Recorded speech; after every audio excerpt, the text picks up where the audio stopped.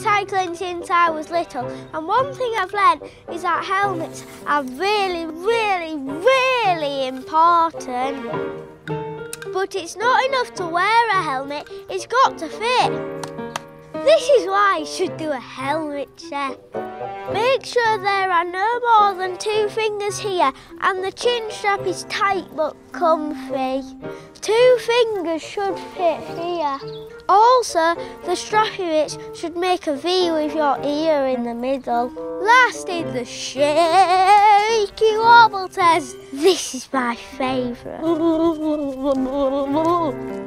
If you've done everything right, it shouldn't wobble.